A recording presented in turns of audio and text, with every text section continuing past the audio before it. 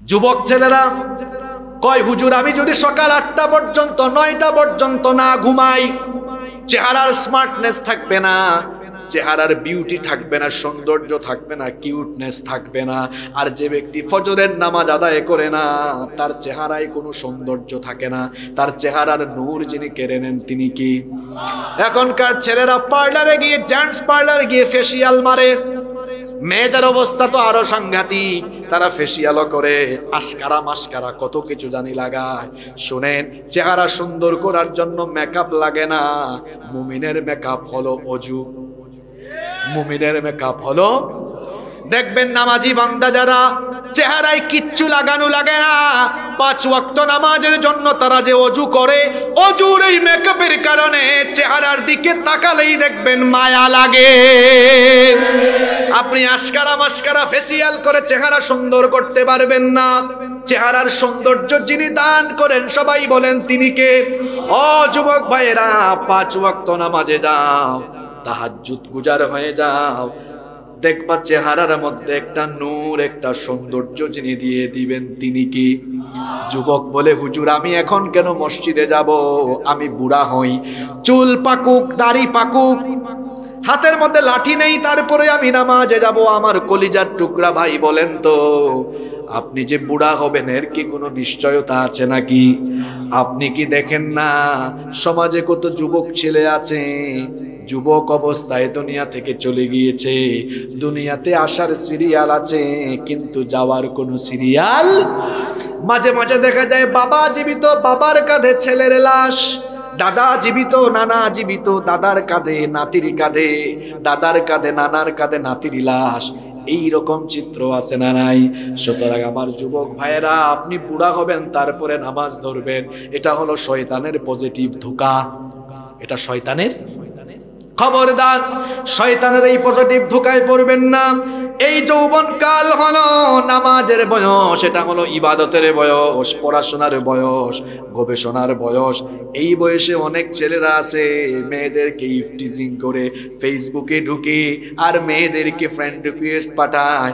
সব সময় আছে খালি মেয়েদের দিকে, মেয়েদেরকে নিয়ে চিন্তা ভাবনায়। অসভ্য হয় না। কলেজে, ইউনিভার্সিটিতে পড়ো। এখন তোমার মেয়ের পিছনে ঘুর ঘুর ঘুর ঘুর করার বয়স নয়। এই বয়সে তুমি কেন গুরু গুরু করো? তুমি তোমার চরিত্র সুন্দর করো, মনোযোগ দিয়ে পড়াশোনা করো, আজান হলে নামাজে যাও, চরিত্র সুন্দর করো। যদি তোমার কেরিয়ার ভালো হয়, চরিত্র সুন্দর হয়, মেয়ের পিছনে তুমি ঘোরা লাগবে না। তোমার মতো দিনদার ছেলের কাছে মেয়ে বিয়ে দেওয়ার জন্য হাজার হাজার সুন্দরী মেয়ের বাপ লাইন ধরে দাঁড়ায়া থাকবে। তুমি কি অসভ্য ছেলের মতো ঘুরবা? নাকি নিজেকে এমন জায়গায় নিয়ে যাবা যাতে করে মানুষ তোমাকে খুঁজে বের করে? সিদ্ধান্ত তুমি নাও। নিজেকে এমন জায়গায় নিয়ে যাও, মানুষ তোমাকে খুঁজে বের করবে। তুমি নিজে অসভ্যের মতো দৌড়াদৌড়ি করছ কেন?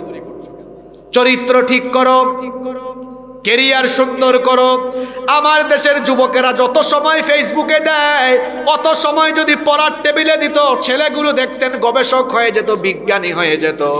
কিন্তু আমার দেশের যুবক ছেলেরা এখন, যুবক ছেলেরা, যুবতী মেয়েরা মোবাইল পাইলেই হইছে। আর মা বাপও আদর করে করে ছোট্ট বয়স থেকে ছেলে মেয়েদের হাতে মোবাইল তুলে দেয়। অন্তত পক্ষে ইন্টারমিডিয়েট পাশ করার আগ পর্যন্ত ছেলে মেয়েদের হাতে মোবাইল ফোন দিবেন না। মোবাইল ফোন এটা আমাদের কল্যাণের জন্যই। কিন্তু সঠিক সময়ে সঠিকটা করতে হবে। দেখা যাবে এটার সঠিক ব্যবহার না করে অপব্যবহার আরম্ভ হয়ে যেতে পারে। এই জন্য বাবা মা হিসাবে আপনাকে দায়িত্বশীল হওয়ার দরকার আছে না নাই? আল্লাহ বলেছেন, কু আনফুসাকুম ওয়া আহলিকুম নিজে জাহান্নাম থেকে বাঁচো, নিজের পরিবারকে বাঁচাও। আপনার পরিবারকে দিনের পথে রাখা। বাবা হিসাবে, মা হিসাবে, পরিবারের কর্তা হিসাবে আপনার দায়িত্ব। যুবক ভাইদেরকে বলছি, এই যৌবন বয়সটা ইবাদতের বয়স, এই যৌবন বয়স কাজে লাগানোর বয়স। তিন নাম্বার পয়েন্ট বলছিলাম আমরা জুলুম কলবুহু মুআল্লাকুন ফিল মাসাজিদ। মসজিদের সাথে যেই সকল লোকদের অন্তরের টান থাকে, এদেরকেও আরশের ছায়ার নিচে যিনি জায়গা দিবেন, তিনি কি? চার নাম্বার হলো, ওয়া রাজুলান তাহাব্বান ফিল্লাহ ইজতামা আলাইহি ওয়া তাফাররাকান আলাইহি। কাউকে ভালোবাসবে আল্লাহর সন্তুষ্টির জন্য, আবার কাউকে ঘৃণা করবে আল্লাহর সন্তুষ্টির জন্য।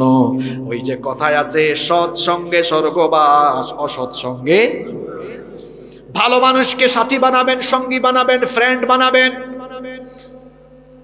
কোনো বাজে মানুষের সাথে চলাফেরা করবেন না। কারও সাথে সম্পর্ক হবে, দিনদারিতার ভিত্তিতে কাউকে আবার ঘৃণা করবেন। কাউ কারও সাথে আবার সম্পর্ক ছিন্ন করবেন, সেটাও আল্লাহর সন্তুষ্টির জন্য। আপনি দিনদার, নেককার মানুষকে ভালোবাসবেন, আল্লাহর দিনের জন্য, আল্লাহর কোরআনের জন্য। আবার অপকর্মকারী লোকেরা, অন্যায়, অপরাধকারী লোকদের থেকে নিজেকে আপনি বিরত রাখবেন, তাদের থেকে আপনি নিজেকে দূরে রাখবেন, কাকে সন্তুষ্ট করার জন্য? আসতে বলবেন না জুড়ে বলেন কাকে সন্তুষ্ট করার জন্য। নাম্বার ফাইভ পাঁচ নাম্বার হলো ও রজুলুন দাআতহুম রাআতুন। জামাল। ওই যুবক, যে যুবককে অভিজাত বংশীয় সুন্দরী কোনো মেয়ে কোনো প্রস্তাব দেয়, কুপ্রস্তাব দেয়। এই কুপ্রস্তাবকে সে রিজেক্ট করে দিয়ে বলে, ইন্নি আখাফুল্লাহ, আমি আল্লাহকে ভয় করি। এটা কম বড় কথা। আজকের যুবকদেরকে যদি একটা সুন্দরী মেয়ে শুধু বলে, আই লাভ ইউ। আরে বাপরে বাপ, খুশি হয়ে রিপ্লাই দিবে, আই লাভ ইউ টু। কি ভদ্র পোলা পাইন ঠিক বলে সমর্থন দিয়েছে আমাকে। তোমার চেহারা কি সুন্দর, যুবক? তোমার চেহারায় কি সুন্দর জোয়ার আছে? ইউসুফ নবী, যাকে আল্লাহ পাক এই দুনিয়ার অর্ধেক সৌন্দর্য দিয়েছেন যার দিকে তাকালে চোখ ফেরানো যেত না। এত সুন্দর সুপুরুষ তিনি ছিলেন, যাকে দেখে মিশরের সেই যুগের সুন্দরী নারীরা অনুভূত শূন্য হয়ে ফল কাটতে গিয়ে নিজেদের আঙ্গুল কেটে ফেলেছে টেরো পায় নাই। আল্লাহ আকবার। এত সুন্দর সুপুরুষ তিনি ছিলেন, শৈশবকাল থেকে তিনি যে ঘরে লালিত পালিত হয়েছেন, সেই ঘরের সুন্দরী মহিলা জুলাইখা, ইউসুফ নবীকে দেখতে দেখতে দেখতে দেখতে তার প্রতি মুগ্ধ হয়ে গেল। ইউসুফ আলাইহিসসালাম যখন যৌবনে পদার্পণ করলেন, জুলাইখা তখন তার দাসীর মাধ্যমে ইউসুফ আলাইহিসসালামকে একেবারে তার খাস কামরায় বেডরুমে আমন্ত্রণ জানালো, সাতটি দরজা ছিল, সবগুলো দরজা বন্ধ করে দিল।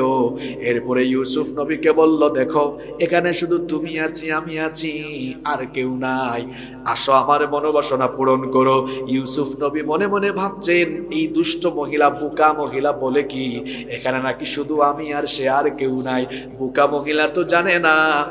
এই বদ্ধ রুমে, এই আটকানো রুমে, তালাবদ্ধ রুমে আমি আর সে থাকলেও এখানে আরেকজন আছেন যিনি সব দেখেন, জানেন তিনি কি। এই যে এই অনুভূতি, এই ফিলিংসটা রাখলে পরে মানুষ অন্যায় থেকে, অপরাধ থেকে নিজেকে সেফ রাখতে পারে। যেমন যুবকরা স্মার্টফোন চালায় রাতের বেলা যখন ঘুমায় আজে বাজে ভিডিও দেখতে মন চায়। যুবক ভাবে, আমি তো এখন আমার রুমে দরজা বন্ধ করে দিয়েছি, আমার আব্বু, আম্মু ভাই বোন সবাই ঘুমায়। কে আর আমাকে দেখবে? আমার ভাই অন্ধকার রুমে দরজা বন্ধ করে দিয়েছ। কেউ তোমার কাজ কারবার না দেখলেও, না জানলেও সব কিছু যিনি দেখেন এবং জানেন তিনি কি? এই ভয় অন্তরে থাকলে গুণা থেকে বাঁচা যাবে। ইউসুফ নবী বলছেন মনে মনে ভাবছেন, আমার আল্লাহ তো সব দেখছেন। এই মহিলা যখন বলল, আসো আমার মনোবাসনা পূরণ করো। ইউসুফ নবী কি জবাবটা দিলেন? রিপ্লাই কি করলেন? শুনেন, সুরা ইউসুফে আল্লাহ তুলে দিয়েছেন। ইউসুফ নবী জবাব দিলেন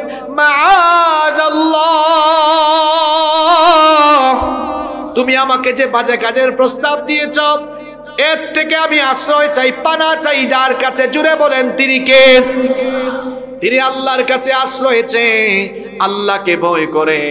তালাবদ্ধ দরজার দিকে তিনি যখন দৌড় দিলেন, আল্লাহ তালা তার নবী ইউসুফ সালামের উপর খুশি হয়ে গিয়ে সাতটি দরজা ছিল, সবগুলো দরজা তার জন্য খুলে দিলেন যুবক ভাইয়েরা, চরিত্রকে এইরকম করো এই রকম করে সুন্দর করো।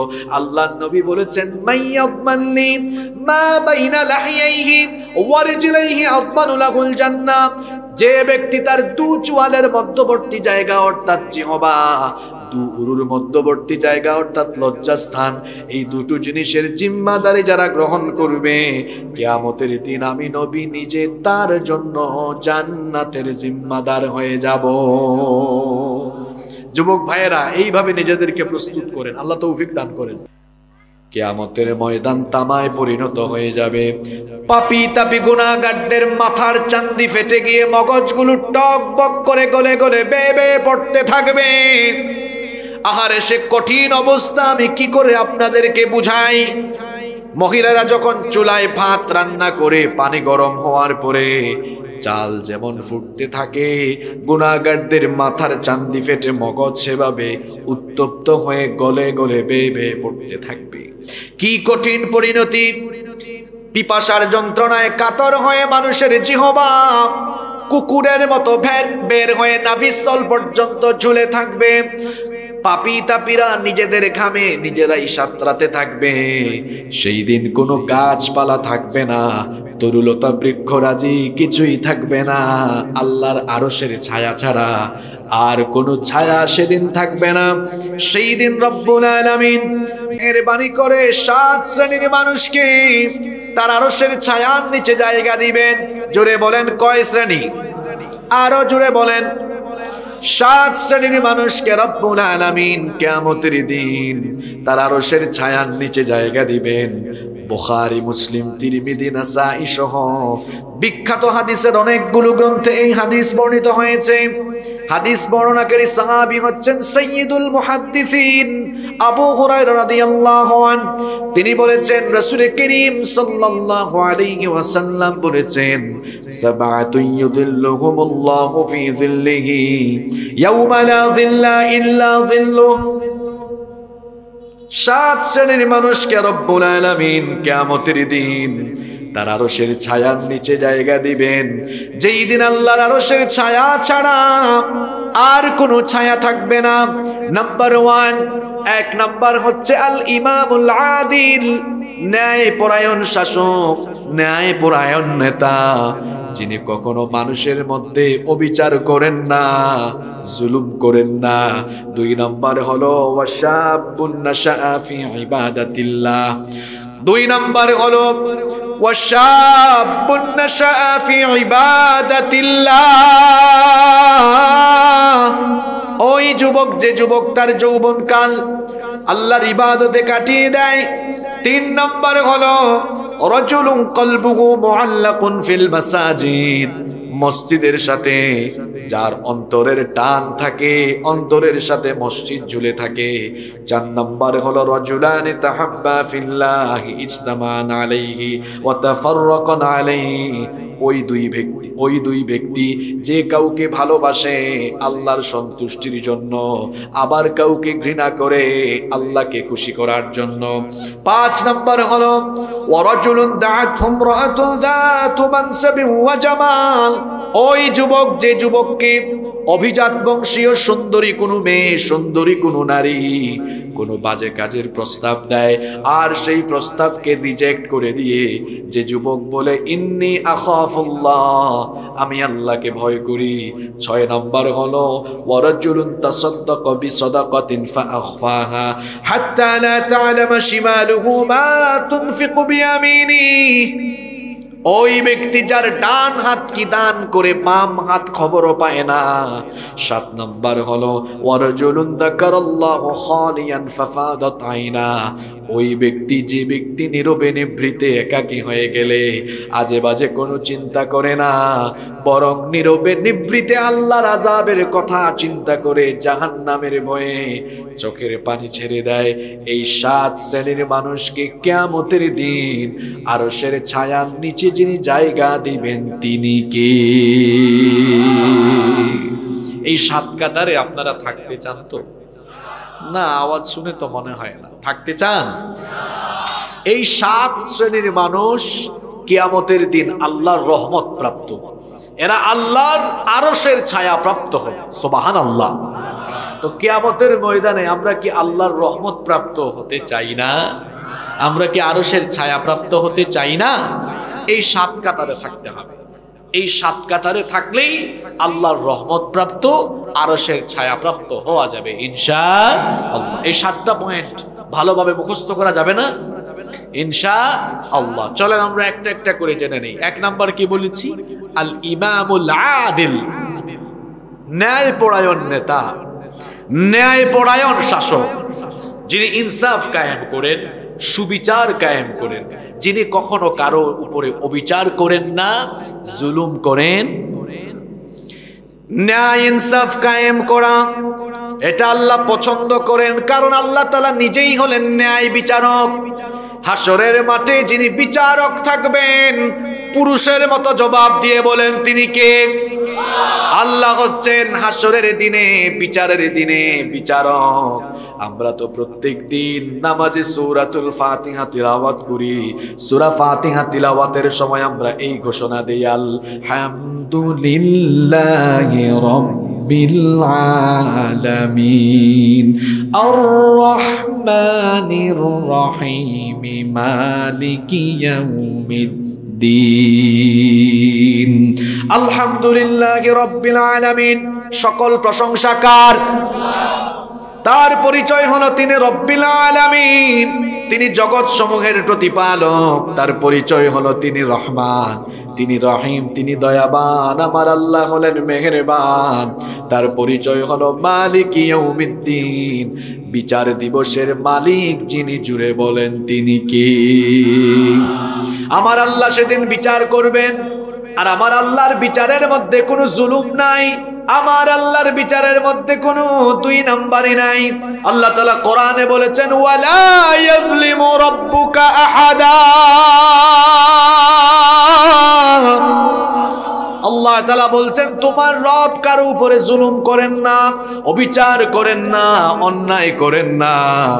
কিন্তু আমরা মাঝে মাঝে দেখা যায়, আমরা তো মানুষ, মানুষের স্বভাব হলো এমন মানুষের মধ্যে পাঁচাটা গুলামির অভ্যাস আছে। মানুষের মধ্যে পেট পূজা আছে, প্রবৃত্তির পূজা আছে। প্রবৃত্তি পূজা, পেট পূজা আর পাঁচাটা গুলামির কারণে মানুষ মাঝে মাঝে বিচার করতে গিয়ে বিচারের নামে প্রহসন করে, অবিচার করে ফেলে।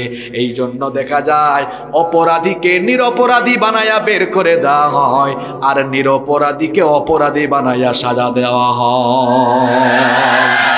যেই সমাজে দেখবেন চোর, বাটপাত, চাঁদাবাজ, টেন্ডারবাজ কেসিনোবাজ সন্ত্রাসী লোকেরা বুক ফুলিয়ে বাহিরে হাঁটাহাঁটি করে আর দিনদার, ইমানদার পর এজগার লোকেরা অন্ধকারে থাকে। বুঝতে হবে ওই সমাজে অবিচার আর জুলুম আছে। আমার আল্লাহ হলেন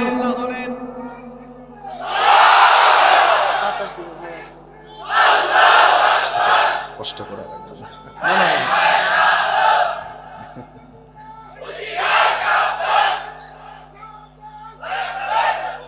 বসেন, আমাদের কোনো শত্রু নাই।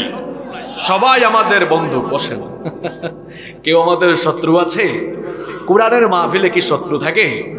রাজনৈতিক সমাবেশে শত্রু থাকে, কারণ তারা রাজনীতি করে। একদল আর একদলের বিরুদ্ধে কথা বলে। এটা তো রাজনৈতিক সমাবেশ না। এখানে আমাদের কোনো শত্রু নাই। সবাই আমাদের ভাই, সবাই আমাদের বন্ধু। ঠিক কি না? স্লোগানের মধ্যে দরদ রাখতে হবে। হ্যাঁ কথা বলায়ও দরদ রাখতে হবে। তবে দরদ রাখতে গিয়ে চুরকে তো চুর বলতেই হবে। ডাকাতকে তো ডাকাত বলতে হবে। তো এরপরে চোরকে চোর, ডাকাতকে ডাকাত বলার কারণে, চোর ডাকাতের যদি একটু মন খারাপ হয়, আমি বলব, ভাইজান প্লিজ আমি আমার, আমি আপনার ভাই, মন খারাপ করে না, আসেন আমরা তৌবা করে ভালো হয়ে যাই। ঠিক না? আমার আল্লাহর বিচারের মধ্যে অবিচার নাই, জুলুম নাই। আমার আল্লাহ ন্যায় বিচার পছন্দ করেন। এই জন্য তিনি আমাদেরকে ন্যায় বিচার কায়েম করার আদেশ দিয়েছেন। রব্বুল আলামিন কোরআনুল কারীমের 16 নম্বর সূরা সূরাতুন নাহালের 90 নম্বর আয়াতে বড় সুন্দর করে বললেন ইন ইন্নাল্লাহা ইয়ামুরু বিল ইহসান।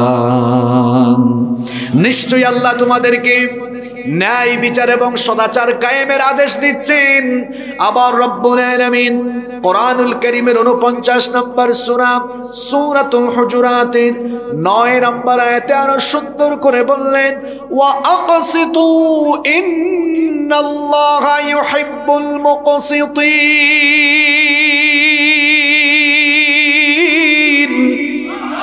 ন্যায় বিচার কায়েম করো, কারণ ন্যায় বিচারককে যিনি ভালোবাসেন, তিনি কে?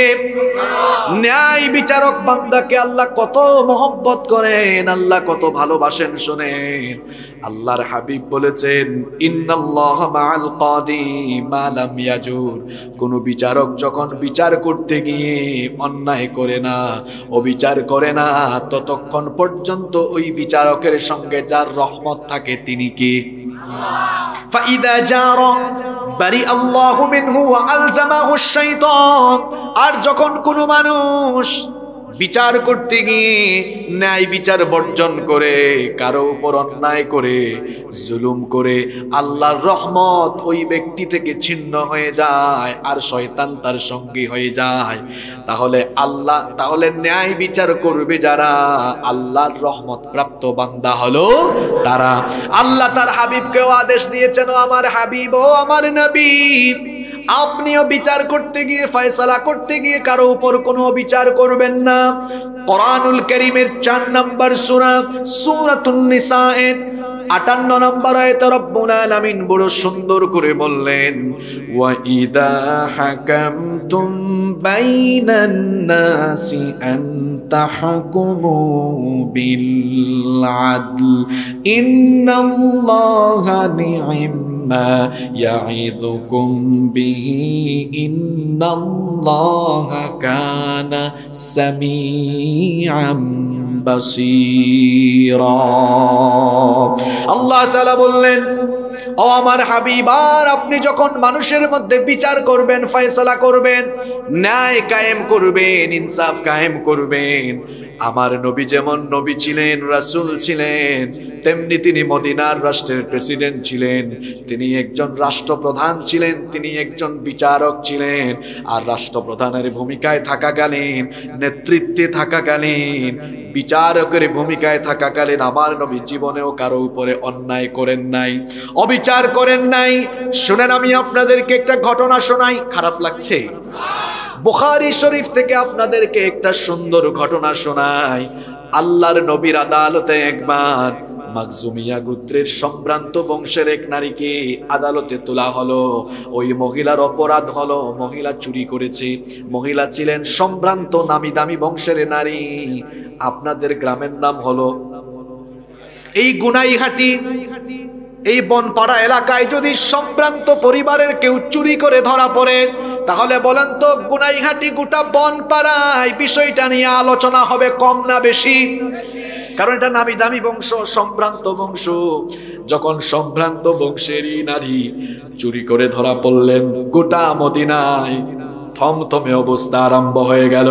নবীজির সাহাবীরা আলোচনা করছেন, হায় হায় হায়, সম্ভ্রান্ত বংশের এই রান, এই নারী চুরি করেছেন। এখন যদি এই নারীর ব্যাপারে নবীজি কোরআন অনুযায়ী বিচার করে দেন, ফয়সালা করে, রায় করে দেন, তাহলে ওই বংশের মানিজ্য থাকবে না। সুতরাং সাহাবিরা চিন্তা করছেন, এই মহিলার ব্যাপারে নবীজির কাছে সুপারিশ করে রায়টা একটু হালকা করে দেওয়া যায় কিনা।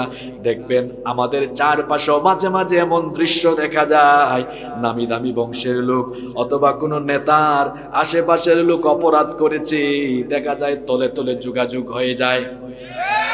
তলে তলে যোগাযোগ করে বলে, এটা আমার লোক, একটু হালকা করে দেন।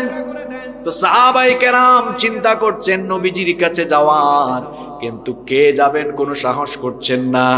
সাহাবিরা পরামর্শ করলেন, নবীজি তো উসামাকে বড় পছন্দ করেন। তারা বললেন, উসামা ইবনু জাইদ তুমি নবীজির কাছে সুপারিশ নিয়ে যাও। উসামা ইবনু জাইদ রাদিয়াল্লাহু আনহু যখন নবীজির কাছে এই সুপারিশ নিয়ে গেলেন, বললেন, নবী গো, আপনি তো কোরআন দিয়ে বিচার করলে চুরির শাস্তি হাত কেটে দিবেন। এই মহিলা দামি, নামি দামি বংশের মহিলা। রায় দেওয়ার সময় বংশের দিকে লক্ষ্য করে রায় একটু হালকা করে দিয়ে। এই কথা শুনেই নবীজি সব সাহাবিদেরকে ডাকলেন। ডাকার পরে সব সাহাবিদেরকে লক্ষ্য করে বললেন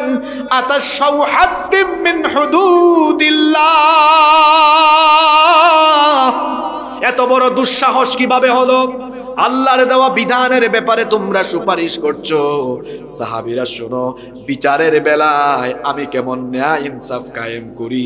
আজকে আদালতের কাঠগড়ায় যদি এই সম্ভ্রান্ত বংশের নারী না হয়ে আমার নিজের কলিজার টুকরামে ফাতেমা থাকতো, বিচারের বেলায় আমি পরিবার প্রীতি, স্বজন প্রীতি দেখাতাম না, বরং বিচারের রায় দেওয়ার পরে দণ্ড কায়েমের জন্য জল্লাদকেও দায়িত্ব দিতাম না। বিচারের রায় দিয়ে আমি বাপ হয়ে আমার নিজের মেয়ের হাত নিজেই কেটে ফেলতাম। আল্লাহ আকবার। আল্লাহ আকবার। এর নাম বিচারক। এর নাম হচ্ছে ন্যায় বিচার। আর আমাদের সমাজে চারপাশে দেখবেন মাঝে মাঝে হ্যাঁ পাতি নেতার গুলাম ধরা পড়েছে, ওসির কাছে ফোন, এই ওসি, কারে ধরছো? এইটা আমার লুক মেয়া তাড়াতাড়ি ছাড়ো। এই রকম যদি দল কানামি দল প্রীতি, পরিবার প্রীতি, স্বজন প্রীতি থাকে, তাহলে কোনোদিনও সমাজের মধ্যে, রাষ্ট্রের মধ্যে ন্যায় বিচার কায়েম হবে না। ন্যায় বিচার কায়েম করতে হলে সকল স্তরে দায়িত্বশীল ব্যক্তিগণকে ন্যায় পরায়ণ হয়ে যেতে হবে। অবিচারকে প্রশ্রয় দেওয়া যাবে না, জুলুম করা যাবে না। আপনি যদি মানুষের উপর অন্যায় করেন, জুলুম করেন, কেয়ামতের দিন আপনি জালিমের কাতারে আল্লাহর সামনে দাঁড়াবেন। আজকের বিচার শেষ, বিচার নয় চূড়ান্ত একটা বিচার আছে না নাই? সেই দিন বিচারকের ভূমিকায় আমার রব, আমরা সবাই আদালতের কাঠ গড়ায় আমার আল্লাহ বিচার করবেন, খবরদার। মানুষের উপর কোনো অবিচার করবেন না, জুলুম করবেন না। এই অবিচার শুধু সমাজ আর রাষ্ট্রের দায়িত্বশীলের ক্ষেত্রে নয়, ব্যক্তিগত ক্ষেত্রে, পরিবারের ক্ষেত্রে, প্রাতিষ্ঠানিক ক্ষেত্রে। যেখানেই আপনি দায়িত্বশীলতার ভূমিকায় থাকবেন, কারও উপরে কোনো জুলুম করা যাবে? মনে করেন আপনার পরিবারের কথাই আমি বলছি, আপনার পরিবারে আপনার ছেলে আছে, মেয়ে আছে। ছেলে মেয়ে লালন পালনে কখনো বৈষম্য করা যাবে না, বেইনসাফি করা যাবে না। কিন্তু দেখা যায় অনেক পরিবারে এমন আছে, ছেলে এবং মেয়ে দুজনকে নিয়ে খাবার খেতে বসেছে। ছেলেটাকে মাছের মাথা দেয়, মেয়েটাকে মাছের লেজ দেয়। আছে না নাই? এই যে ছেলে মেয়ে লালন পালনে আপনি বৈষম্য করলেন, আপনি কিন্তু অবিচার করলেন। আবার দেখা যায় ছেলে মেয়েদের মধ্যে সম্পদ বন্টনেও জুলুম আছে। অবিচার আছে। কৌমি মাদ্রাসায়, আলিয়া মাদ্রাসায় ফারাইজ পড়ানো হয়, ইলমুল মাওয়ারিফ পড়ানো হয়।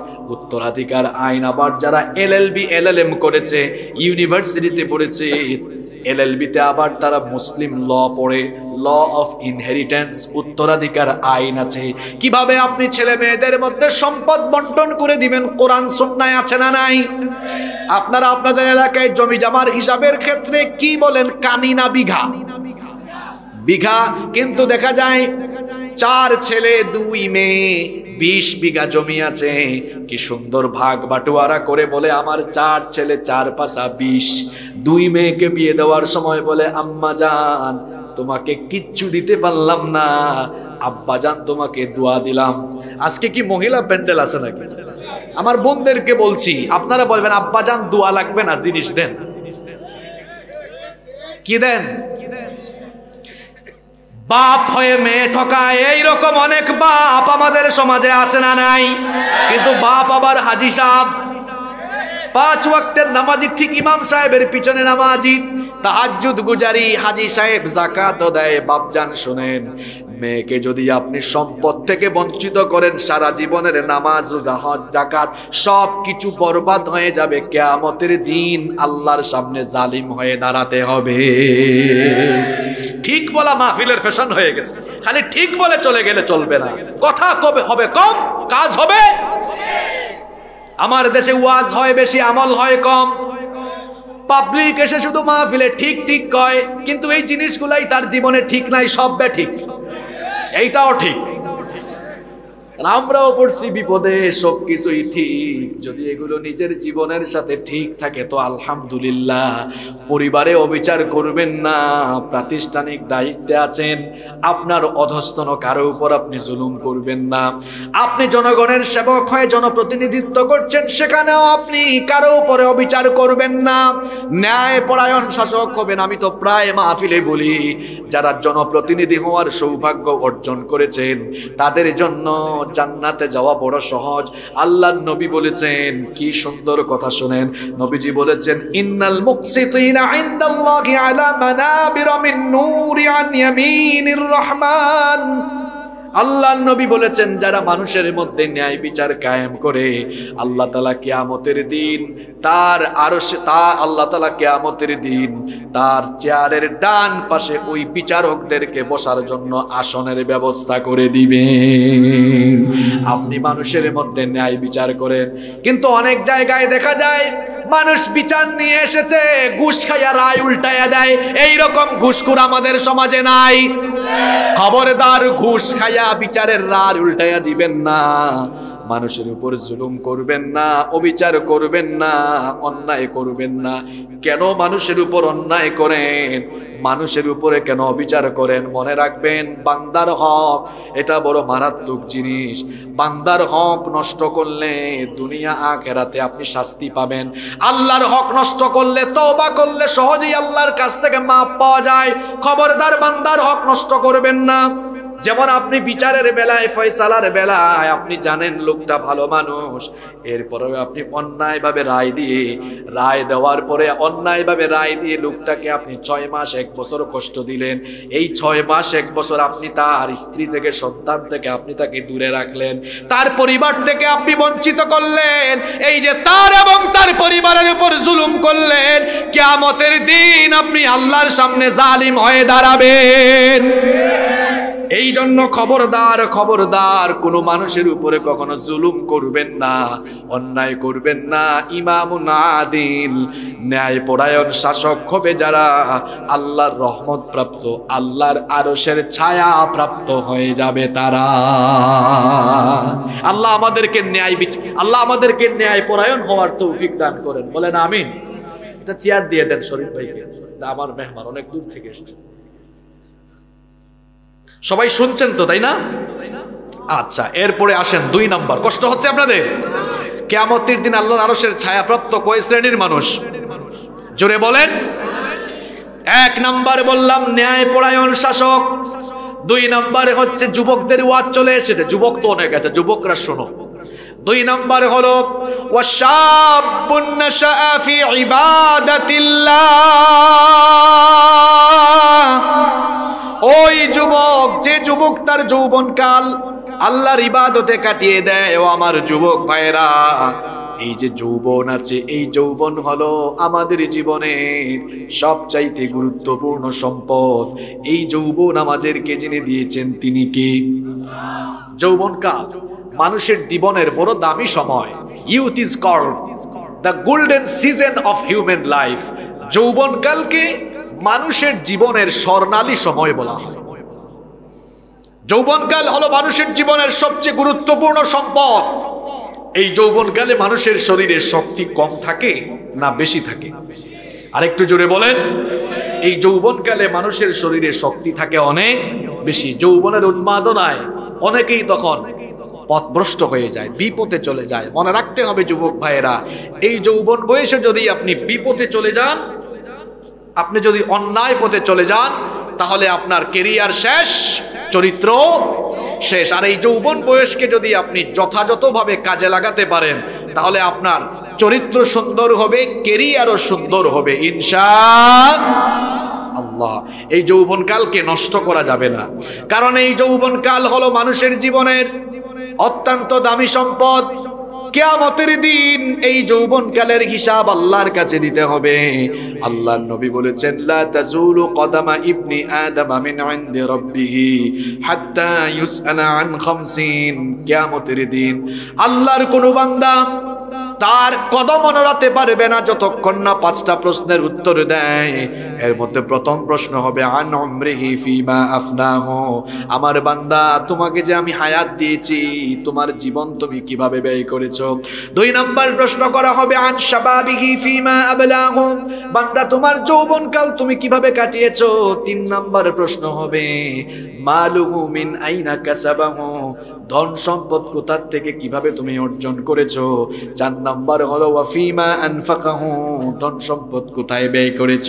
পাঁচ নাম্বার প্রশ্ন হবে, মাদা আমিলা ফিমা আলিমা যতটুকু জানতে ততটুকু আমল করতে আমল করতে কিনা? এর মধ্যে একটা অন্যতম প্রশ্ন হলো, বান্দা, তোমার যৌবনকাল তুমি কোথায় কাটিয়েছো? আল্লাহর হাবিব বলেছেন ইখতানিম গনিমত মনে করো, শাবাবাকা কবলা হারামিক, বুড়া হওয়ার আগে যৌবন কালের কদর করো। কারণ যদি আপনি বুড়া হয়ে যান, যৌবন যদি চলে যায় হারিয়ে যাওয়া যৌবন আর কখনো ফিরে আসবে? এই যে এখানে আমার অনেক চাচারা আছেন, তারাও একদিন যুবক ছিলেন। যে যৌবন চলে গিয়েছে, তারা কি সেই যৌবন আর ফিরে পাবেন? Nobody wants to lose you time কেউ এই যৌবন হারাতে চায় না। কিন্তু যে যৌবন চলে যায়, সে যৌবন কোটি কোটি টাকা দিয়ে, প্রভাব প্রতিপত্তি ক্ষমতা দিয়ে জীবনের ফেলে আসা যৌবনকে আর ফিরিয়ে আনা যায়? এজন্য যৌবন থাকতে যৌবনের কদর করতে হবে। যৌবন থাকতেই যৌবনকে কাজে লাগাতে হবে। এখন প্রশ্ন হলো, এই যৌবনকে আমরা কাজে লাগাবো কেমনে? যৌবনের কদর করব কেমনে? এই যৌবন আপনাকে যিনি দিয়েছেন, সবাই বলতে হবে, তিনি কি? যুবক ভাইরা, শোনো। Keep in your mind youth is not a gift given by you leader যৌবন তোমার নেতার দেওয়া গিফট নয়। যৌবন দিয়েছেন কে? যুবক, আজকে তোমার যৌবন কোথায় যায়? নেতার সামনে, পিছনে চামচামি করতে করতে তোমার যৌবন যায়। তোমার যৌবন আজ মোবাইল ফোন হাতে নিয়ে ফেসবুক চালাতে চালাতে যায়। তোমার যৌবন টিকটক করতে করতে যায়। তোমার যৌবন মোবাইল ফোনে পাবজি পাবজি খেলতে খেলতে যায়। তোমার যৌবন কলেজে বিশ্ববিদ্যালয়ে মেয়েদেরকে ইফটিজিং করতে করতে যায়। তোমার যৌবন অশ্লীলতায়, বেহায়াপনায় হারিয়ে যাচ্ছে, বিলীন হয়ে যাচ্ছে।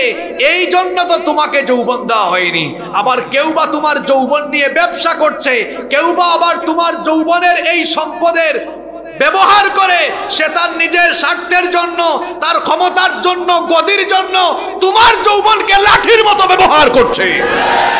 যেই বয়সে তোমার হাতে বই, খাতা, কলম, শুভা পায়, সেই বয়সে কিছু বেয়াদব লোকেরা, সেই বয়সে কিছু স্বার্থান্বেষী লোকেরা তোমার হাতে তার গদির জন্য, তার ক্ষমতার জন্য তুলে দিয়েছে তোমার হাতে লাঠি সুঠা তোমার হাতে তুলে দিয়েছে ককটেল তোমার হাতে তুলে দিয়েছে মাদক দিয়েছে একে ফোরটি সেভেন। যারা তোমার হাতে এই ছাত্র বয়সে অস্ত্র শস্ত্র লাঠি সুটা দেয়, এরা তোমার নেতা নয়, এরা তোমার জানের দুশ্মন। এদের সঙ্গ ত্যাগ করো। তোমার যৌবন তো এজন্য দেওয়া হয় নাই, যুবক। তোমার এই বয়সে, ছাত্র বয়সে তুমি কলেজে পড়ো, ইউনিভার্সিটিতে পড়ো, তোমার হাতে এখন শুভা পায় বই বই খাতা কলম। তোমার হাতে শুভা পায় আল্লাহর কোরআন নবীজির হাদিস, বই, খাতা, কলম, কোরআন, হাদিসের বিপরীতে তোমার হাতে লাঠি সুঠা, তোমার হাতে অস্ত্র শস্ত্র মাদক তুলে দিয়েছে তারা, তোমার দুশ্মন হলো তারা। এটা সঙ্গ ত্যাগ করো তুমি। তোমার যৌবন পৃথিবীর কেউ দেয় নাই। কারও দাসত্ব করার জন্য, কারও ক্ষমতার লাঠি হওয়ার জন্য তোমাকে যৌবন দেওয়া হয় নাই। এই যৌবন যিনি আমাদেরকে দিয়েছেন, পুরুষের মতো জবাব দিয়ে সবাই বলেন, তিনি কে? তো যৌবন যিনি দিয়েছেন, যৌবন তো তাকেই দিতে হবে। যৌবন যিনি দিয়েছেন, যৌবনের শক্তি, সামর্থ্য তাকেই দিতে হবে। এই যৌবনের কদর আপনি কেমনে করবেন শুনেন। এই যৌবন বয়সে, এই যৌবন বয়সে আপনি আপনার সময়গুলোকে আল্লাহর ইবাদতে কাটাবেন আজান হয়েছে। সাথে সাথে মসজিদে চলে যাবেন। এই যৌবন বয়সে কোরআনের তেলাওয়াত করবেন, নিজের চরিত্র ঠিক করবেন। যৌবন বয়সে আখিরাতমুখী জীবন গঠনের প্রচেষ্টা, প্রয়াস চালাবেন। এইভাবে করে নিজের যৌবনকে আল্লাহর ইবাদতে কাটাবে যারা, কেয়ামতের দিন আল্লাহর আরশের ছায়া প্রাপ্ত হয়ে যাবে তারা।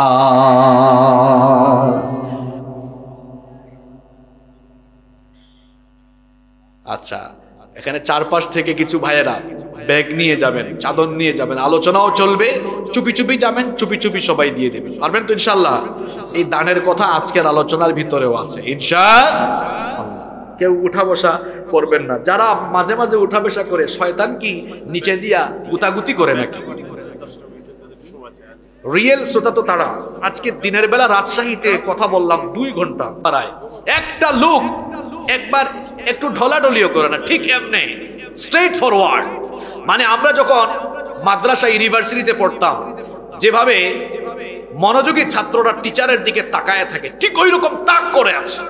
দুইটা ঘণ্টা নড়াচড়া দেখলাম না। এখানে মাঝে মাঝে দেখা যায় শয়তান কাকে কাকে যেন নিচে দিয়া গুতা মারে। তবে এরা যায় না আসে, আল্লাহ জানে। অনেকে যায় না আসে, অনেকে যায়, অনেক সময় হাজত সরার জন্য যায়। কথা বলবেন না কেউ কয়টা বললাম? জোরে বলেন কয়টা? যে যুবক তার যৌবন আল্লাহর ইবাদতে কাটায় তিন নম্বর হলো রজুলুন কলবুহু মুআল্লাকুন ফিল মাসাজিদ। ওই ব্যক্তি অন্তরের যার অন্তরের সাথে মসজিদের টান থাকে অন্তরের সাথে মসজিদ ঝুলে থাকে, মসজিদের প্রতি যার অন্তরের টান থাকে। আজান হলেই মসজিদে যায়, মসজিদগামী বান্দা। আজান হলেই মসজিদে যায়, মসজিদের প্রতি তার অন্যরকম টান। মসজিদের প্রতি তার অন্যরকম আকর্ষণ। এই রকম মসজিদের সাথে অন্তরের টান, অন্তরের আকর্ষণ যে সকল বান্দাদের আছে, তারা হলো আল্লাহর রহমত প্রাপ্ত আল্লাহর আরশের ছায়া প্রাপ্ত সবাই বলেন তো দেখি, আমার দেশে মসজিদই বেশি নাকি মুসল্লি বেশি তো অমনোযোগে হয়তো শুনবে আপনারাই তো এই স্লিপ দিছেন যে ব্যাগ ব্যাগ লাগায় দেন। এখন ব্যাগে যদি লাগায় দেন কীভাবে হবে? আপনারা তো পরিবেশ নষ্ট করে দিয়েছেন। না পরিবেশ সুন্দর করার জন্য চাচ্ছি। দশ মিনিট পরে একবার শেষ পর্যন্ত ক্লিয়ার তা আমি কি দশ মিনিট এখন বসে থাকব? আমি জন্য তো আমি বলছিলাম শেষে দিয়ে আমি আমার সুযোগ বুঝে দিব। কেউ কথা বলবেন না। আপনারাই পাকনামি করলেন, আপনারাই দিয়ে ফেললেন। আমি তো এখানে উঠার আগেই ওই ঘরে থাকাকালীন বলেছি, আমি সুযোগ বুঝে দিব, যেটা আমরা অন্যান্য জায়গায় দিই, সুযোগ বুঝে দিতাম। এটা সঙ্গীতের মাহফিলে আসছেন না ওয়াজ মাহফিলে আসছেন? অনেক জায়গায় পাবলিক বলে, হুজুর আজান দেন। কোন বক্তার আজান দিবে? যে বক্তা মাহফিল হয়েছে আজান দেয়, এটা বক্তা না, এটা তক্তা। তুমি কোন ওয়াক্তের আজান দাও? মাহফিলের সময়? রাত দশটার সময়, এগারোটার সময়? পাবলিক আসলে বক্তার দৃষ্টিতে লাভ নাই। আমাদের দেশে পাবলিক যেমন হয়েছে বক্তাও তেমন হয়েছে পড়াশোনা নাই, কিচ্ছু নাই, উঠে যায়। এখানে কোরআন বলছে আদেশ বলছে, আপনার ভালো লাগে না, আপনার গজল ভালো লাগে না, এগুলা ভালো লাগে না আপনার? এখানে মিনিটে মিনিটে কোরআন যাচ্ছে, মিনিটে মিনিটে হাদিসের ডেলিভারি যাচ্ছে। কয়, হুজুর, গজল বলেন। কিছু পাবলিক বলে হুজুর আজান দেয়। কোন বক্তের আজান দিবে এখানে? তাহাজ্জুদের আজান না ফজরের আজান? আমার দেশে ওয়াজ মাহফিলে মানুষ বেশি না মসজিদের জামাতে মানুষ বেশি? হ্যাঁ? কি জাত আজানের পাগল? পাঁচ ওয়াক্ত পাঁচবার আপনার বাড়ির পাশে মুয়াজ্জিন আজান দে এই আজান ভালো লাগে না। মসজিদে যাইতে ভালো লাগে না। মাহফিলে এসে হুজুর আজান দেন। রাগ করবেন না, আমি মানুষটা এরকমই। আমি স্ট্রেট ফরওয়ার্ড কথা বলি। কারণ সুজা সাপটা কথা বলা ভালো। শেষ হয়েছে সবার? ঠিক আছে, আমরা কোথায় ছিলাম, মনে আছে? মনে আছে তো? আল্লাহর আরসের ছায়াপ্রাপ্ত কয় কাতার? জোরে বলেন। তিন নাম্বার পয়েন্টে চলে এসেছে রজুলুন কলবুহু মুআল্লাকুন ফিল মাসাজিদ। মসজিদের সাথে যার অন্তরের টান থাকে, সুবহানাল্লাহ। কিন্তু আমাদের অবস্থা হলো এমন, মসজিদের সাথে আমাদের অন্তরের টান নাই। যদি মসজিদের সাথে আমাদের অন্তরের টান থাকতো, তাহলে পাঁচ ওয়াক্ত মসজিদ মুসল্লি দিয়ে ভরপুর থাকতো। এবার বলেন তো দেখি কেউ চুপ থাকবেন না? জবাব দেন, বলেন তো আমার দেশে মসজিদ বেশি না মুসল্লি বেশি? জি? তো মসজিদ বেশি মুসল্লি কম। তাহলে তো বুঝাই গেল মসজিদের প্রতি আমাদের দেশের মুসলমানদের টানও টানও কম। আমার দেশে ওয়াজ মাহফিলে মানুষ বেশি, কিন্তু যে এলাকায় মাহফিল হয়, ওই এলাকার এশান নামাজের জামাতের খবর নিয়ে দেখেন। মাহফিলের দশ ভাগের এক ভাগ মানুষও কিন্তু এশান নামাজে হয় নাই। তো এত ওয়াজ শুনে কি হবে? যদি আমাদের নামাজ ঠিক না থাকে, তার মানে ওয়াজ বাদ দিতে হবে, বিষয়টা এমন নয়। ওয়াজও লাগবে, আমলও লাগবে, কথা হবে, কম কাজ হবে। আমার দেশে হয়ে গেছে উল্টা, কথা হয় বেশি রাত বারোটা একটা, দুইটা পর্যন্ত ওয়াজ। কথা বেশি, কাজ কম। এরপরে দেখা যায় ফজরের নামাজ। তাহলে কথা হচ্ছে বেশি, কাজ হচ্ছে কম। কিন্তু হওয়া উচিত ছিল কথা হবে কম। বলেন? তাহলে মসজিদের সাথে আমাদের টান নাই। মসজিদগুলো মুসল্লির অভাবে হাহাকার করে, মসজিদগুলো আফসুস করে, আহারে মুসল্লি কোথায়? দেখেন আমাদের এলাকার মসজিদগুলোর দিকে তাকান। এখন তো কাঁচা মসজিদ, টিনের মসজিদ বাংলাদেশে খুঁজেও পাওয়া যায় না। মাঝে মাঝে এক দুইটা পাওয়া যায়। বেশিরভাগ মসজিদ এখন পাকা মসজিদ। আমার দেশে এখন মসজিদ হয়ে গেছে পাকা আর মুসল্লি হয়ে গেছে কাঁচা। নবীজির জামানায় মসজিদ ছিল কাঁচা, মুসল্লি ছিল পাকা। আমার নবীর মসজিদের মসজিদের ছাদ ঢালাই করা ছিল না। খেজুর পাতার ছাউনি দিয়ে মসজিদের ছাদ দেওয়া ছিল। আর মসজিদের পিলার ছিল খেজুর গাছের ডালে। মসজিদের যে ফ্লোর ছিল টাইলস করা ছিল না। শীতকাল আসলে আমরা আমাদের মসজিদগুলোতে দামি দামি কার্পেট দেই। নবীজির মসজিদে কোনো কার্পেট ছিল না, নিচে ছিল মরুভূমির বালু। যখন তারা সাজদা দিতেন, নবীজি এবং সাহাবিরা যখন নামাজে সাজদা দিতেন, কপালের মধ্যে, নাকের মধ্যে, হাতে পায়ে ধুলাবালু লেগে যেত। অল্প একটু বৃষ্টি হলে কাদা হয়ে যেত। নামাজে যখন তারা সাজদা দিতেন, নাকে, কপালে, হাতে, পায়ে কাদা লেগে যেত আহারে। তখনকার মসজিদ ছিল কাঁচা, কিন্তু মুসল্লি ছিল পাকা। তখন তার, তখনকার মসজিদগুলো মুসল্লি দিয়ে ভরপুর থাকতো ফিল আপ থাকতো। এখন আমাদের মসজিদগুলো হয়েছে টাইলসওয়ালা। মসজিদ হয়েছে পাকা, কিন্তু মুসল্লির অভাবে মসজিদটা হয়ে গেছে ফাঁকা ফাঁকা। জুমার দিনে দেখা যায় মসজিদে জায়গা হয় না ঠেলা ঠেলি কিন্তু জুমার দিনে ফজর এবং আসরের নামাজে দেখবেন এক কাতারও কষ্ট করে হয় না। এই হলো আমাদের অবস্থা। এই যদি অবস্থা হয়, আপনার অন্তরের টান, মসজিদের সাথে যদি আপনার অন্তরের একটা টান না থাকে, ভালোবাসা না থাকে, আপনি আল্লাহর রহমত প্রাপ্ত আরসের ছায়া প্রাপ্ত হতে পাবেন না, পারবেন না। নিজের বিবেককে প্রশ্ন করেন তো। সিএনজির পিছনে, আপনাদের এলাকায় সিএনজি নাই, ভ্যান বেশি দেখবেন, ট্রাকের পিছনে, বাসের পিছনে অনেক সময় লেখা থাকে।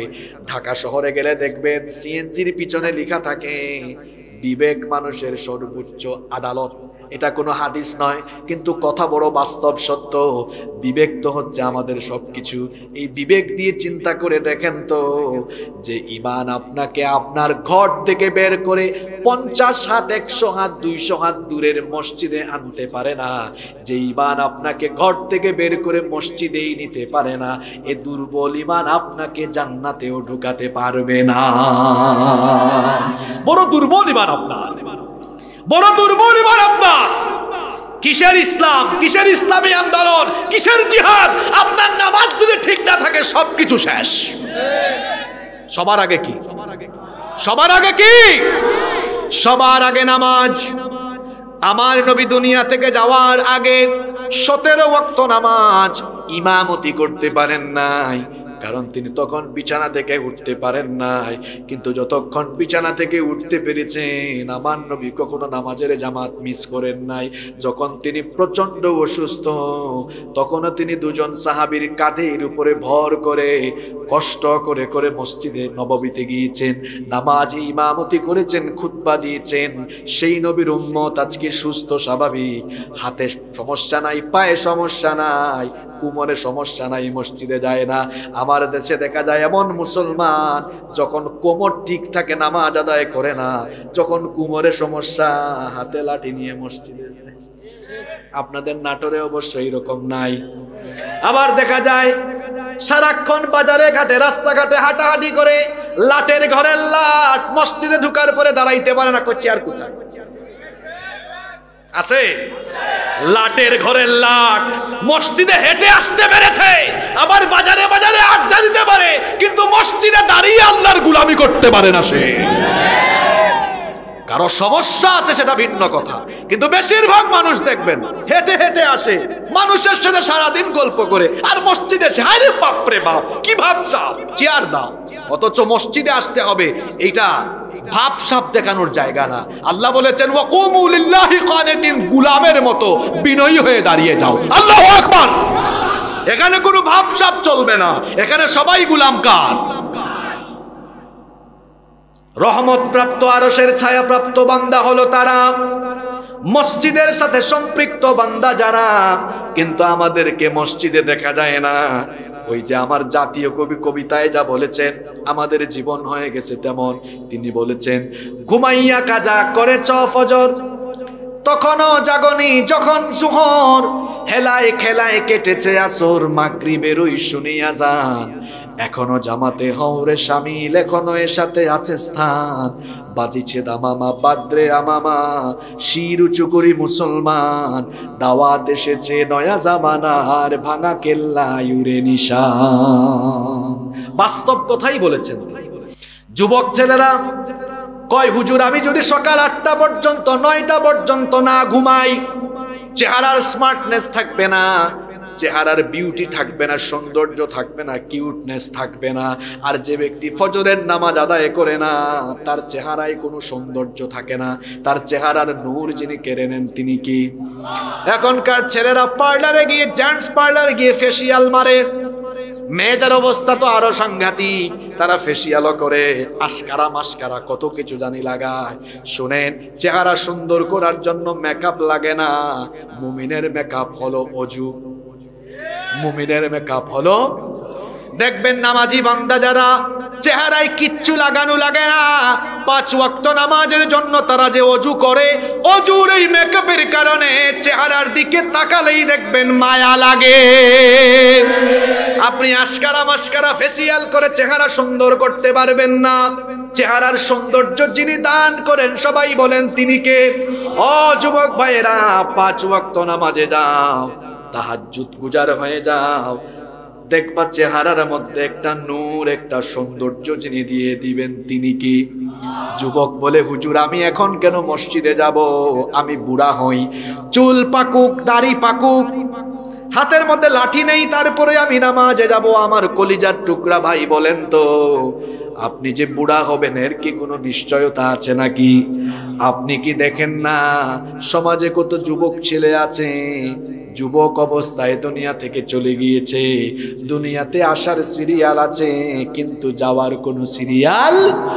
মাঝে মাঝে দেখা যায়, বাবা জীবিত, বাবার কাঁধে ছেলের লাশ। দাদা জীবিত, নানা জীবিত, দাদার কাঁধে নাতির কাঁধে, দাদার কাঁধে, নানার কাঁধে নাতির লাশ। এই রকম চিত্র আছে না নাই? সুতরাং আমার যুবক ভাইয়েরা, আপনি বুড়া হবেন, তারপরে নামাজ ধরবেন। এটা হলো শয়তানের পজিটিভ ধোকা। এটা শয়তানের খবরদার, শয়তানের এই পজিটিভ ধোকায় পড়বেন না। এই যৌবন কাল হলো নামাজের বয়স, এটা হলো ইবাদতের বয়স, পড়াশোনার বয়স, গবেষণার বয়স। এই বয়সে অনেক ছেলেরা আছে, মেয়েদেরকে ইফটিজিং করে ফেসবুকে ঢুকে আর মেয়েদেরকে ফ্রেন্ড রিকোয়েস্ট পাঠায়। সব সময় আছে খালি মেয়েদের দিকে, মেয়েদেরকে নিয়ে চিন্তা ভাবনায় অসভ্য হয় না। কলেজে ইউনিভার্সিটিতে পড়ো। এখন তোমার মেয়ের পিছনে ঘুর ঘুর ঘুর ঘুর করার বয়স নয়। এই বয়সে তুমি কেন গুরু গুরু করো? তুমি তোমার চরিত্র সুন্দর করো, মনোযোগ দিয়ে পড়াশোনা করো, আজান হলে নামাজে যাও, চরিত্র সুন্দর করো। যদি তোমার কেরিয়ার ভালো হয়, চরিত্র সুন্দর হয়, মেয়ের পিছনে তুমি ঘোরা লাগবে না। তোমার মতো দিনদার ছেলের কাছে মেয়ে বিয়ে দেওয়ার জন্য হাজার হাজার সুন্দরী মেয়ের বাপ লাইন ধরে দাঁড়ায়া থাকবে। তুমি কি অসভ্য ছেলের মতো ঘুরবা? নাকি নিজেকে এমন জায়গায় নিয়ে যাবা যাতে করে মানুষ তোমাকে খুঁজে বের করে? সিদ্ধান্ত তুমি নাও।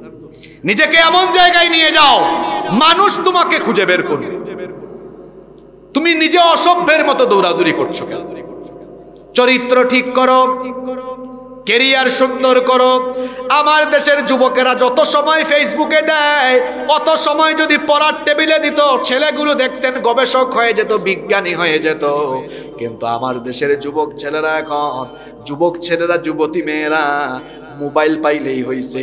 আর মা বাপও আদর করে করে ছোট্ট বয়স থেকে ছেলে মেয়েদের হাতে মোবাইল তুলে দেয়। অন্তত পক্ষে ইন্টারমিডিয়েট পাশ করার আগ পর্যন্ত ছেলে মেয়েদের হাতে মোবাইল ফোন দিবেন না। মোবাইল ফোন এটা আমাদের কল্যাণের জন্যই। কিন্তু সঠিক সময়ে সঠিকটা করতে হবে। দেখা যাবে এটার সঠিক ব্যবহার না করে অপব্যবহার আরম্ভ হয়ে যেতে পারে। এই জন্য বাবা মা হিসাবে আপনাকে দায়িত্বশীল হওয়ার দরকার আছে না নাই? আল্লাহ বলেছেন, কু আনফুসাকুম ওয়া আহলিকুম নারা। নিজে জাহান্নাম থেকে বাঁচো, নিজের পরিবারকে বাঁচাও। আপনার পরিবারকে দিনের পথে রাখা। বাবা হিসাবে, মা হিসাবে, পরিবারের কর্তা হিসাবে আপনার দায়িত্ব। যুবক ভাইদেরকে বলছি, এই যৌবন বয়সটা ইবাদতের বয়স এই যৌবন বয়স কাজে লাগানোর বয়স। তিন নাম্বার পয়েন্ট বলছিলাম রাজুলুম কলবুহু মুআল্লাকুন ফিল মাসাজিদ। মসজিদের সাথে যেই সকল লোকদের অন্তরের টান থাকে, এদেরকেও আরশের ছায়ার নিচে যিনি জায়গা দিবেন, তিনি কি? চার নাম্বার হলো ওয়ারাজুলানি তাহাব্বান ফিল্লাহ ইজতামা আলাইহি ওয়া তাফাররাকান আলাইহি। কাউকে ভালোবাসবে আল্লাহর সন্তুষ্টির জন্য, আবার কাউকে ঘৃণা করবে আল্লাহর সন্তুষ্টির জন্য। ওই যে কথায় আছে, সৎ সঙ্গে স্বর্গবাস, অসৎ সঙ্গে ভালো মানুষকে সাথী বানাবেন, সঙ্গী বানাবেন ফ্রেন্ড বানাবেন। কোনো বাজে মানুষের সাথে চলাফেরা করবেন না। কারও সাথে সম্পর্ক হবে, দিনদারিতার ভিত্তিতে কাউকে আবার ঘৃণা করবেন। কাউ কারও সাথে আবার সম্পর্ক ছিন্ন করবেন, সেটাও আল্লাহর সন্তুষ্টির জন্য। আপনি দিনদার, নেককার মানুষকে ভালোবাসবেন, আল্লাহর দিনের জন্য, আল্লাহর কোরআনের জন্য। আবার অপকর্মকারী লোকেরা, অন্যায় অপরাধকারী লোকদের থেকে নিজেকে আপনি বিরত রাখবেন, তাদের থেকে আপনি নিজেকে দূরে রাখবেন, কাকে সন্তুষ্ট করার জন্য? আসতে বলবেন না, জুড়ে বলেন কাকে সন্তুষ্ট করার জন্য। নাম্বার ফাইভ পাঁচ নাম্বার হলো ও দাআতহুম রাআতুন ওই যুবক, যে যুবককে অভিজাত বংশীয় সুন্দরী কোন মেয়ে কোন প্রস্তাব দেয়, কুপ্রস্তাব দেয়। এই কুপ্রস্তাবকে সে রিজেক্ট করে দিয়ে বলে, ইন্নি আখাফুল্লাহ, আমি আল্লাহকে ভয় করি। এটা কম বড় কথা। আজকের যুবকদেরকে যদি একটা সুন্দরী মেয়ে শুধু বলে, আই লাভ ইউ। আরে বাপরে বাপ, খুশি হয়ে রিপ্লাই দিবে, আই লাভ ইউ টু। কি ভদ্র পোলা পাইন ঠিক বলে সমর্থন দিয়েছে আমাকে। তোমার চেহারা কি সুন্দর, যুবক? তোমার চেহারায় কি সুন্দর জোয়ার আছে?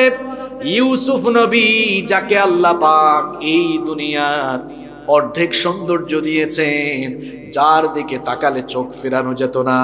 এত সুন্দর সুপুরুষ তিনি ছিলেন, যাকে দেখে মিশরের সেই যুগের সুন্দরী নারীরা অনুভূতি শূন্য হয়ে ফল কাটতে গিয়ে নিজেদের আঙ্গুল কেটে ফেলেছে টেরো পায় নাই। আল্লাহ আকবার। এত সুন্দর সুপুরুষ তিনি ছিলেন, শৈশবকাল থেকে তিনি যে ঘরে লালিত পালিত হয়েছেন, সেই ঘরের সুন্দরী মহিলা জুলাইখা ইউসুফ নবীকে দেখতে দেখতে দেখতে দেখতে তার প্রতি মুগ্ধ হয়ে গেল।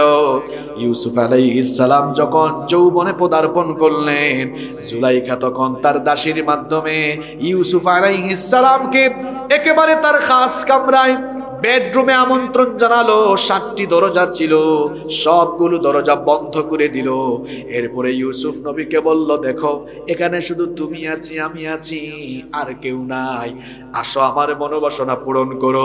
ইউসুফ নবী মনে মনে ভাবছেন, এই দুষ্ট মহিলা, বুকা মহিলা বলে কি? এখানে নাকি শুধু আমি আর সে আর কেউ নাই। বুকা মহিলা তো জানে না। এই বদ্ধ রুমে, এই আটকানো রুমে, তালাবদ্ধ রুমে আমি আর সে থাকলেও এখানে আরেকজন আছেন যিনি সব দেখেন, জানেন তিনি কি। এই যে এই অনুভূতি, এই ফিলিংসটা রাখলে পরে মানুষ অন্যায় থেকে, অপরাধ থেকে নিজেকে সেফ রাখতে পারে। যেমন যুবকরা স্মার্টফোন চালায় রাতের বেলা যখন ঘুমায়, আজে বাজে ভিডিও দেখতে মন চায়। যুবক ভাবে, আমি তো এখন আমার রুমে দরজা বন্ধ করে দিয়েছি, আমার আব্বু আম্মু ভাই বোন সবাই ঘুমায়। কে আর আমাকে দেখবে? আমার ভাই অন্ধকার রুমে দরজা বন্ধ করে দিয়েছ। কেউ তোমার কাজ কারবার না দেখলেও, না জানলেও সব কিছু যিনি দেখেন এবং জানেন তিনি কি? এই ভয় অন্তরে থাকলে গুণা থেকে বাঁচা যাবে। ইউসুফ নবী বলছেন, মনে মনে ভাবছেন, আমার আল্লাহ তো সব দেখছেন। এই মহিলা যখন বলল, আসো আমার মনোবাসনা পূরণ করো। ইউসুফ নবী কি জবাবটা দিলেন রিপ্লাই কি করলেন, শুনেন সুরা ইউসুফে আল্লাহ তুলে দিয়েছেন। ইউসুফ নবী জবাব দিলেন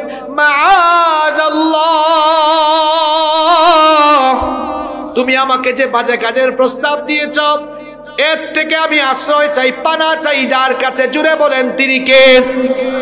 তিনি আল্লাহর কাছে আশ্রয় চেয়ে আল্লাহকে ভয় করে।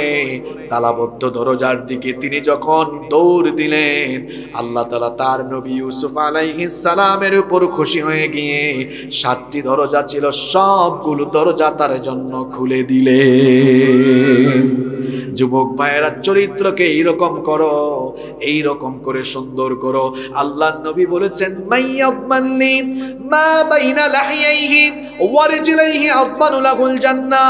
যে ব্যক্তি তার দু চুয়ালের মধ্যবর্তী জায়গা, অর্থাৎ জিহবা, দু উরুর মধ্যবর্তী জায়গা, অর্থাৎ লজ্জাস্থান, এই দুটো জিনিসের জিম্মাদারি যারা গ্রহণ করবে, কিয়ামতের দিন আমি নবী নিজে তার জন্য জান্নাতের জিম্মাদার হয়ে যাব। যুবক ভাইয়েরা, এইভাবে নিজেদেরকে প্রস্তুত করেন। আল্লাহ তৌফিক দান করেন। ছয় নম্বর হল, রজুলুন তাসাদ্দাকা বিসাদাকাতিন ফাআখফাহা হাত্তা লা তা'লামা শিমালুহু মা তুনফিকু বিয়ামিনি। ওই ব্যক্তি যার ডান হাত কি দান করে, বাম হাত খবরও পায় না। অর্থাৎ গোপনে গোপনে গোপনে গোপনে দান করে, প্রকাশ্য দান করাও ভালো, গোপনে দান করাও ভালো, কিন্তু প্রকাশ্যে দানের চাইতে গোপন দান উত্তম। প্রকাশ্যে দান যদি করেন আর মনের নিয়ত ভালো থাকে, অসুবিধা নাই, সেটা আল্লাহ কবুল করবেন। কিন্তু মনের নিয়তটা যদি এই হয়, মানুষ আমার দানের ব্যাপারে জানো কার আমাকে জিন্দাবাদ জিন্দাবাদ দিক। তো আপনার মনের খবর তো আমি জানি না, আমার মনের খবরও আপনি জানেন না। কিন্তু সকলের মনের খবর যিনি জানেন, তিনি কি? এই রকম মনোবাসনা, নিয়ত থাকলে এই দান কিন্তু কবুল হবে না।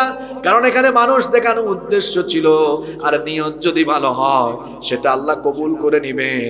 কিন্তু প্রকাশ্যে দান করার পাশাপাশি গোপনে গোপনেও দান করবেন। এই যে আল্লাহর রহমত প্রাপ্ত আরশের ছায়াপ্রাপ্ত বান্দাদের বৈশিষ্ট্য হলো গোপনে গোপনে গোপনে দান করে। এমন অনেক মানুষ আছে গোপনে গোপনে গোপনে মসজিদ তালাশ করে।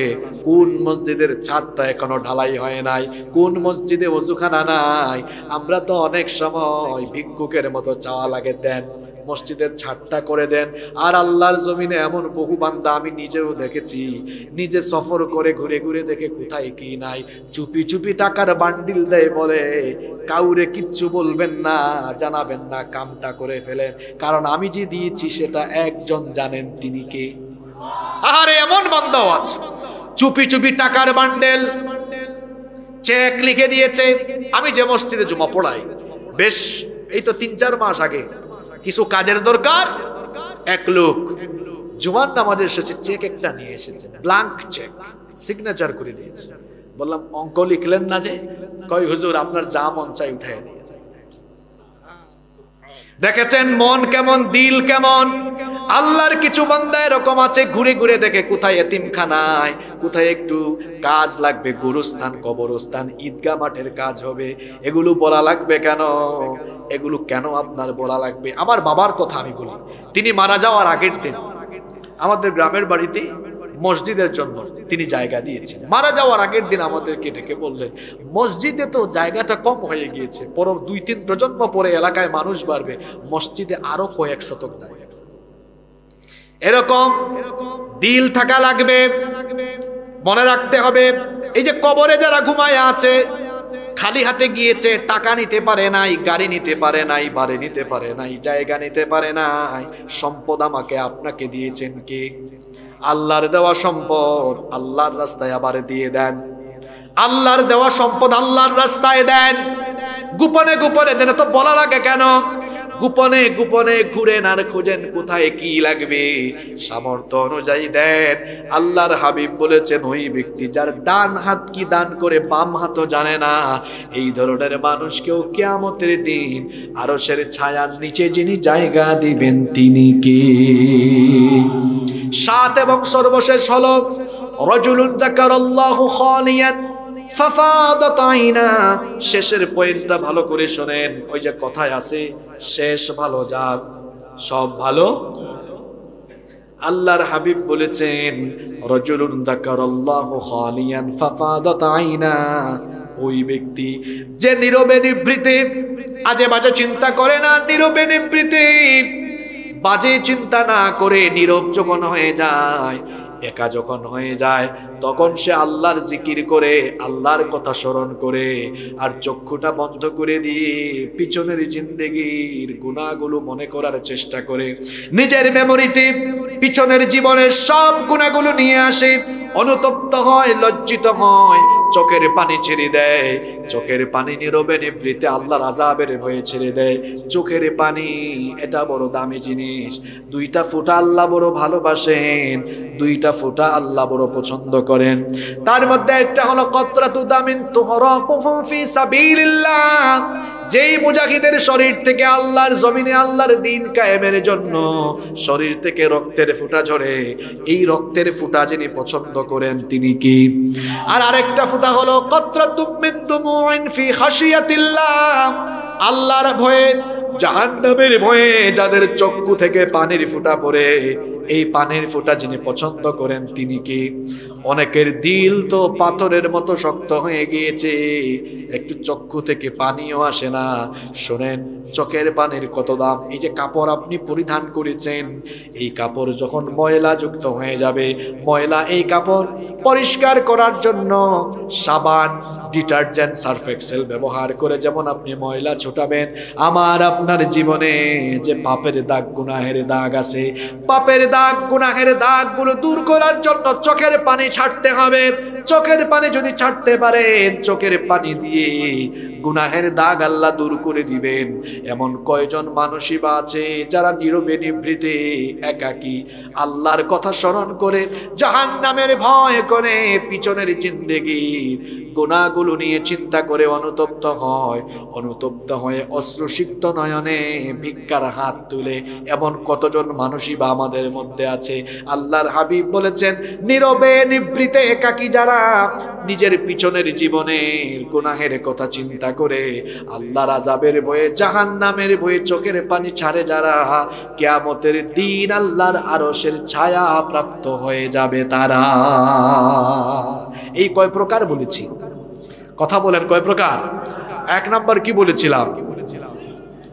মাশা আল্লাহ যারা মনে রেখেছেন এরা আমার রিয়েল শ্রোতা। এক নাম্বার, ন্যায়পরায়ণ শাসক। দুই নাম্বার কি বলেছি?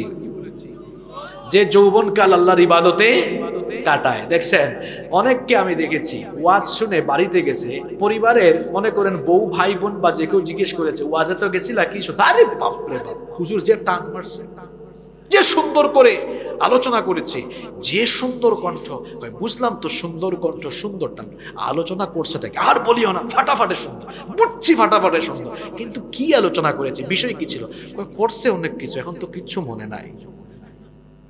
এরকম আছে না নাই? যারা মাহফিলে এসে আগাগুড়া কিছু মনে রাখতে পারে না, অথবা এসে এক কান দিয়ে ঢুকা অন্য কান দিয়ে বের করে কি জাতের শ্রোতা? আমিও বুঝি না। আপনি মাহফিলগুলোতে আসবেন কিছু শিখে যাওয়ার চেষ্টা করুন একটা আয়োজন করতে লক্ষ লক্ষ টাকা খরচ হয়। যারা কথা বলবেন, এটা আমানতের এটা বহুত আমানতের চা। এখানে বসে ফাইজলামে কইরা আজান দিয়া গজল গাইয়া আর কিছুক্ষণ হুত ফাত করে চলে গেলে চলবে না। লক্ষ লক্ষ টাকা খরচ হয়েছে। এখানে বসে মানুষকে কিছু কোরআন, হাদিসের কথা, আমলের কথা শেখায় যান। পরিস্থিতির আলোকে করণীয় মানুষের উদ্দেশ্যে বলে যান। আর যারা শুনবেন, তারাও মনোযোগ দিয়ে শুনবেন। মাহফিলে হুজুরের চেহারা দেখার জন্য। হুজুর কীভাবে আসছে? উট দিয়ে আসছে না গাড়ি দিয়ে আসছে? এটা দেখার জন্য, এগুলো দেখার জন্য যাই ফার্স্ট টু লাস্ট একদম কনসেন্ট্রেট হয়ে আলোচনা শুনতে হবে এক নাম্বার ন্যায় পড়ায়ন শাসন। দুই নম্বর দুই নম্বর যে যুবক তার যৌবনকাল আল্লাহর ইবাদতে তিন নম্বর মসজিদের সাথে যার অন্তরের টান। আমাদের টান আছে তো? আছে না? চার নম্বর হলো, যে ব্যক্তি কাউকে ভালোবাসবে, আল্লাহর সন্তুষ্টির জন্য আবার ঘৃণাও করবে আল্লাহর। নাম্বার ফাইভ পাঁচ নাম্বার হলো, যাকে কোনো সুন্দরী মেয়ে প্রপোজ করে আর সে রিপ্লাই করে, আমি ভয় করি কাকে? আল্লাহ ভীতি রাখা। নাম্বার সিক্স ছয় নাম্বার হচ্ছে, গোপনে গোপনে দান করা। ডান হাত কি দিবে, বাম হাতও তার খবর পাবে। নাম্বার সেভেন সাত এবং সর্বশেষ হলো নীরবে নিভৃতে একাকী। আল্লাহর কথা স্মরণ করে জাহান নামের কথা স্মরণ করে চোখের পানি ছেড়ে দেওয়া। এই সাত প্রকার লোককে কিয়ামতের দিন আরসের ছায়ার নিচে যিনি জায়গা দিবেন, তিনি কে? এই সাত কাতারে আল্লাহ আমাদেরকে সামিল করে দেন। মসজিদের সাথে নামাজের সাথে নিজেদের সম্পর্ক রাখবেন। যুবক ভাইয়েরা, নিজেদেরকে দিনের সাথে, কোরআনের সাথে, কোরআনের আন্দোলনের সাথে নিজেদেরকে সম্পৃক্ত রাখবেন। আল্লাহ তালা আমাদেরকে তৌফিক দান করেন।